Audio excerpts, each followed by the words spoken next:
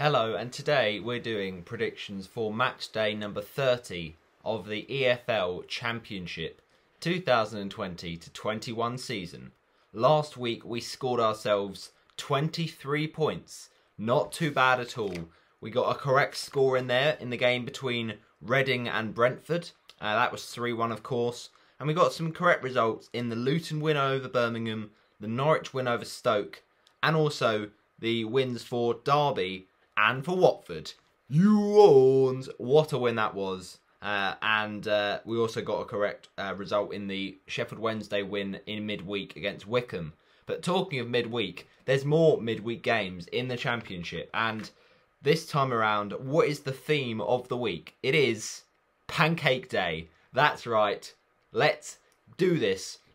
And the song of the week for this week is a tough one because, by my knowledge, I'm not sure of any pancake themed related songs.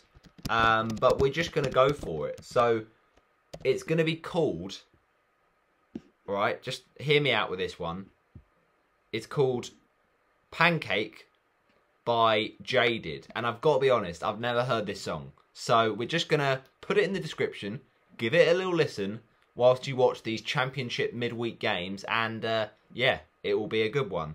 So the colour of the week is going to be purple for this week and we're just going to get straight into the game. So to kick us off this game week, we have Stoke City up against Sheffield Wednesday. Now, this is an interesting one because Stoke come into this off the back of a very, I mean, on the one hand, you could say that they should be, you know, they should be higher in the table, but ultimately they didn't actually have a game. Um, so there's not a lot they can do about that. Um, or did they? No, I think they did. They've played 20, 29 matches, but it's not coming up with um, a Stoke game. I don't really know, to be honest. Um, I'm a little bit confused. Where even is? Oh, there it is. Yeah, 4-1. Uh, it was 4-1. Uh, it just didn't come up for a second. But they lost to Norwich in a bad way, so they need to respond from that. And their opponents this week, uh, that are, of course, Sheffield Wednesday, well, they also lost. Um, and actually, did they even play? No, they didn't play. Of course they didn't. Against Swansea. So they didn't lose. They just didn't play. Because uh, of a frozen pitch, of course. Um, so you could argue Sheffield Wednesday are in better uh, condition for this game. And I think that will actually help get them the win. It'll be a tight one. But I'll say Stoke City 1, Sheffield Wednesday 2. All right. By the way, we're going to look back at my fantasy team uh, for this week and talk through all of that. Um, in week 29, I scored myself 41 points in the Gaffer.io Championship Fantasy. Um, not exactly ideal. It's another red arrow, but we've made some changes. We've made a minus four hit. Hopefully it pays off, and we'll talk about that at the end. But the next game to predict is Preston against Watford. Come on, you Warns. Massive game. Um, whilst, you know, in the Tuesday games, the Champions League is back. Uh, and that will be coming at 10 o'clock tomorrow, so get ready for that. But also, one thing to remember is the championship. In this season, we are exactly, you know, well, I should say halfway. We're not really, we're more than halfway uh, through the season. Um, because obviously 23 would have been halfway. But the point is, uh, and what I'm getting to is that it's a big, big season for Watford. We need to bounce back. We need to get back to the Premier League, and we got an absolutely brilliant game uh, against Bristol City. What a win! But with Watford, it's always a problem of consistency. Can we keep it consistent? And I hope we can. But you know, with Watford, you've always got that sinking feeling, and maybe that's just you know me coming to know Watford over the years. But if we can not necessarily get a six 0 because that was probably a a very special occasion where Bristol City were really struggling. But ultimately, what we want as Watford fans is a win. Um, so I'm going to predict that. I've got to be optimistic, but I'm going to go with Preston North End nil, Watford one. In the reverse fixture, we absolutely destroyed uh, the Preston team 4 1, but I don't think it will be that easy this time. You know, Deepdale is a tough place to go, but we need to get some momentum and get some winning runs. So I'll say 1 0 to the Golden Boys. Of course, we do it late and uh, we, we make it nervy. And that goal is scored by the Brazilian that's absolutely coming come into his own this season uh, as a new player in terms of for a whole first season and uh, a young player who's really, you know, ripping up the, the goal scoring charts. It is Joao Pedro, and I think he will get the winner on 84 minutes. He, of course, scored in the reverse fixture also. And now we've got a game that is going to be between, first of all, Middlesbrough and then Huddersfield. Now, what do I think about this? Well, Huddersfield, they got actually quite a frustrating result last week against Wycombe. That was a game that I think a few Huddersfield fans would have expected to win.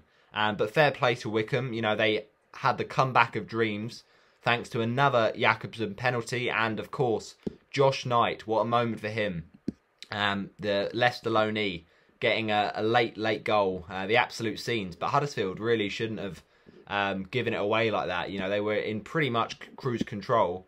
Um, and uh, Pipa uh, got the assist for the for the I think it was the the second goal for Mbenza or it basically it was it was easy easy going and uh, then they get that goal at half time Wycombe, and suddenly it's a completely different matchup so yeah uh, they need to really bounce back to Huddersfield um, but this week they are up against Middlesbrough um, and it's at the Riverside this is quite a tough game just because we know how Neil Warnock's team sets up defensively they're going to frustrate you they're going to try and get a goal on the break. And to be fair, Middlesbrough haven't been scoring uh, many goals this season. Um, they did get one uh, against uh, Derby through Neeskens Kebano, the new signing. But I just feel Middlesbrough are really struggling to get that many goals. So I think they will struggle to score in this one and consequently struggle to win. So Middlesbrough nil, Huddersfield Town 2 is what I'm going to go with. It might be bold, it might be brave, but that's what I think will happen. All right, now we've got a game that is between Bristol City and Reading. Um, so that's an interesting one. Now, Bristol City, how do they pick themselves up from that absolute mauling? They really have to just do it with something here, but they're playing Reading, who have been an amazing team this season. They did get slapped up a fair bit by Brentford in midweek, and also Reading, they can't be losing games like that to Millwall. So you know, Reading aren't going to be exactly high flying either, but they're still the better team. So you'd fancy Reading to get three points here. Um, and I think it'll be a narrow uh, margin of victory. But once again, Reading do what is required to get the three points. So I'll say Bristol City 2, uh, Reading 3. Could be a good one, um, in my opinion. So we move on to now the game between Wycombe Wanderers and Derby County. Now, Derby fair play to them. You know, they've improved their form uh, as of late uh, under Wayne Rooney uh, through the full time management. And it was a massive win. Uh, it was a bit of a six pointer against Middlesbrough. And uh, they just need to keep on doing that. And fair play, that goal from Kazim Richards was absolutely brilliant. Um, so uh, he's going to be a danger man in this game. But in terms of Wycombe, what they did in the last game, you have to just commend them. Whether they will stay up is still very, very tough to call. And they're still a team punching above their weight, and they've done so well to get into the championship. Um, but at home, it's been where they've actually been quite a, a tough team um, for some of the other clubs to face. So Derby won't find this easy. And therefore, I think Wycombe will grind out a draw, and it will end Wycombe Wanderers 1, Derby County 1. Uh, just like the score was when we went to uh, that um, that uh, stadium. Uh, I think it's it Adams Park, pretty sure. Anyway, um, then we've got Luton against Cardiff. Now Luton come into this, you know, fairly decent form, but obviously the the last game that they played was uh, not exactly ideal uh, against Birmingham because it was a tough game. It was always going to be tight, but eventually it fell Luton's way and they got the win um, thanks to the goal from Dan Potts. Um, but I just feel this game could be a bit more of a, a dull one um, because ultimately Cardiff haven't been doing well at all. They've been sliding down the table um, and, you know, they are sitting in seventh, which is very, very good. Three wins in the row. But they're still a little bit behind the rest. So I think this will be a draw here. Uh, I'm going to go for Luton Town 1, Cardiff City 1. Okay, the next game to predict is going to be between. First of all, it is at home. Uh, wait, hang on. What's happened here then? Right, rewind, rewind. Hang on. Uh, yeah, Millwall, and then it's against the away team, Birmingham. Now, Birmingham obviously will be gutted about that Luton game. They didn't really test uh, the Luton goalie too much in that one, just one shot on target. Um, and they are having a pretty poor season, uh, unfortunately, for Aitor Karanka's team. I mean, when you look at their squad, they've got Scott Hogan, they've got uh, Jutkiewicz, they've got Halilovic, but they're just not getting the games and uh, getting the results. And Neil Etheridge is probably a, quite a frustrated figure at the minute because he's a good goalie, but the defense isn't helping him out. And uh, now they go to um, the, ga- the game at Millwall, which is always tough. We know how uh, you know the Den can really get a lot out of teams and be quite exhausting.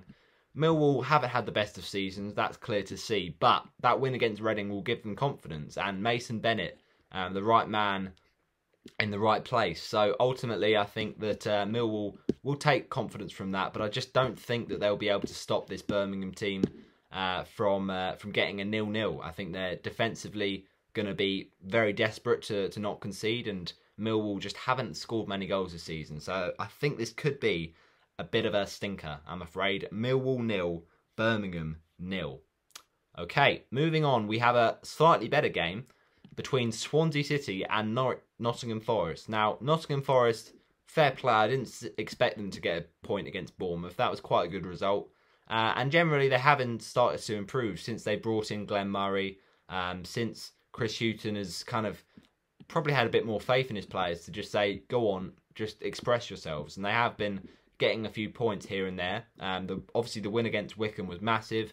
Uh, and before that, you know, that game against Coventry, they kind of had to win. So they're not winning games that are, you know, unexpected, but they're ultimately getting the, the results they needed um, to just stop that bad run of form that was uh, happening earlier on in the season. So it's two wins on the spin now, um, and then a draw uh, was stopping that those two wins against Bournemouth. But as I say, it's a very good point uh, against the Cherries. So I think uh, defensively, Nottingham Forest haven't been too bad, um, but they are up against an interesting team here um, that is, of course, Swansea, who have been one of the best teams all season. So I don't think they're going to get a clean sheet this time. I'm going to say Swansea City 3, Nottingham Forest 1. All right, the next game to do is between. Uh, it is, yeah, Coventry against Norwich. Now, oh dear, uh, I do feel for Coventry here because Norwich have been brilliant. I mean, their form has tailed off a little bit, but they obviously went back to uh, back to form uh, against Stoke and really Teemu Pukki uh, back in the goals. But at the same time, it's Coventry City. We know that they can cause upsets. It's just Norwich. If it was any other, you know, top team, maybe we'd see a Coventry re- result here. But I just, I just think Norwich uh, surely won't let it slip um, even though it is at Coventry, um, or technically it's at Birmingham Stadium. But uh, anyway, I'm going to go for Norwich. I'm going to say 2 0 comfortable stuff for the Canaries um, away from home. All right, the next game is QPR versus Brentford. Uh, interesting game. Obviously, it's a bit of a London derby, this one. Uh, and it's on Wednesday at 7 o'clock. Now, it sees the team that is currently sitting uh, in a very comfortable position of second up against the team that is currently 17th. So there's a bit of a golfing class between the two teams. I mean, QPR, they are, are still a decent squad, you know. They they should be getting more out of that team. Um, and I suppose the sale of um, Eberechi Eze wasn't ideal, but, you know, Eze's not been amazing for Palace this season. He's, he's got a, a couple of good wonder goals, but other than that, you know, he's not really filled the, the void of Zaha. So in that respect, maybe QPR haven't missed out too much, but they're still struggling and they're still not getting as many as many games, uh, you know, in their favour. So it's a it's still a problem for QPR, and uh, their game was obviously postponed with Rotherham. So you know they they've got a rest going into this one. Um, but with QPR, I just feel like they're sometimes too reliant on on some of their certain players like Bright Osayi-Samuel, uh, and there's a few others like I think there's um, Charlie Austin as well. Unless he had come in, if he hadn't have come in in the window, maybe they would have been a lot lower down in the table. But ultimately, you've just got to back Brentford, and they've been a brilliant team to watch this season.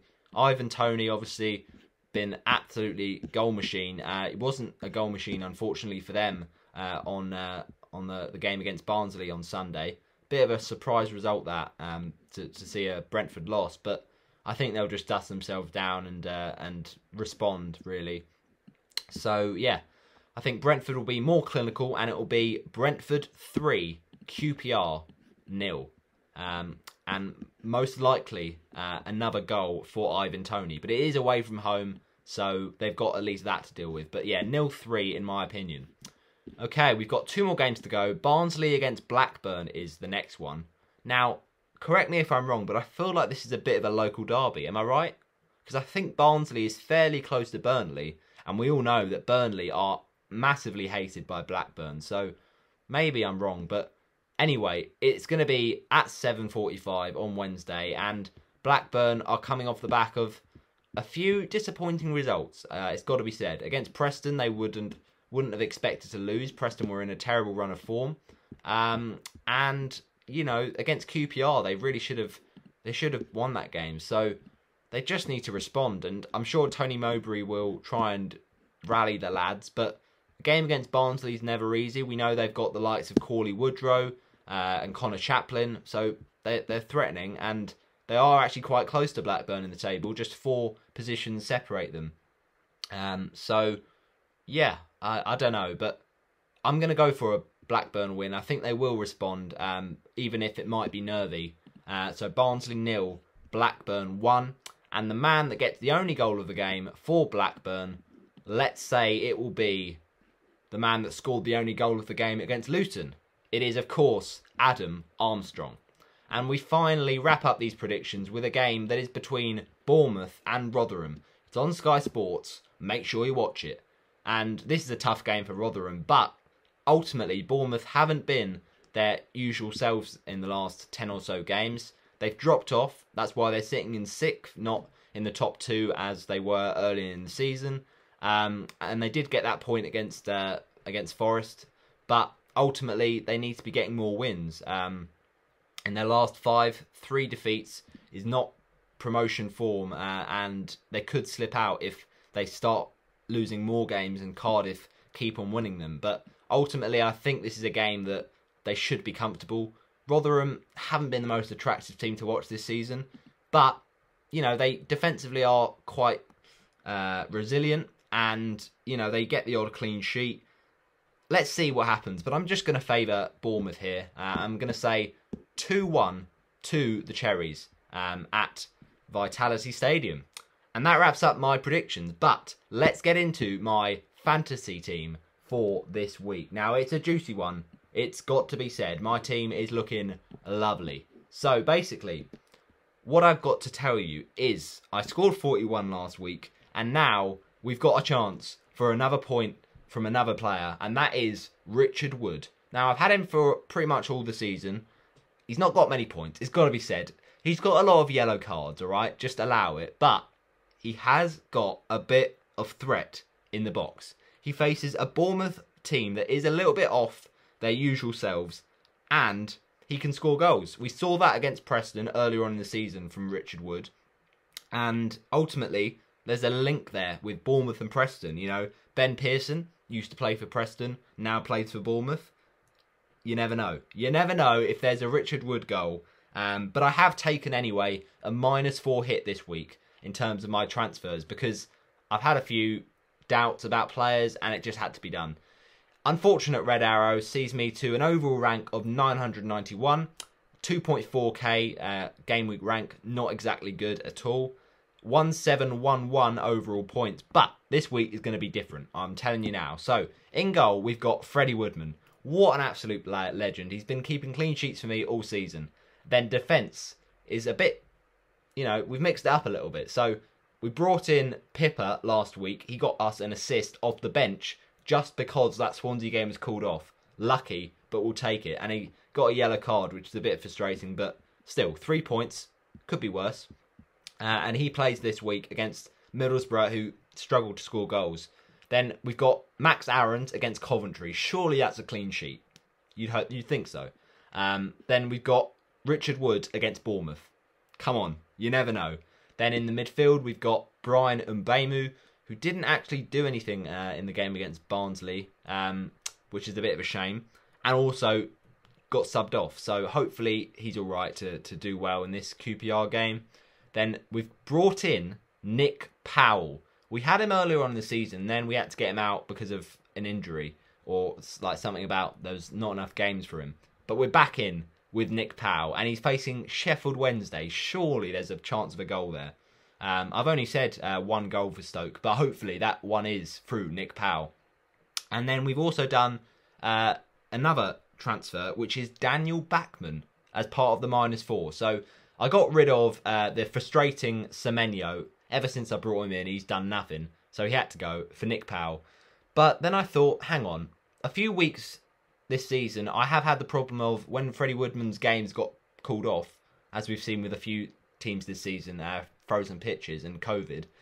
I've not had any points for my for my backup goalie because my backup goalie was um, that lad from uh, I think it was from Nottingham Forest or something.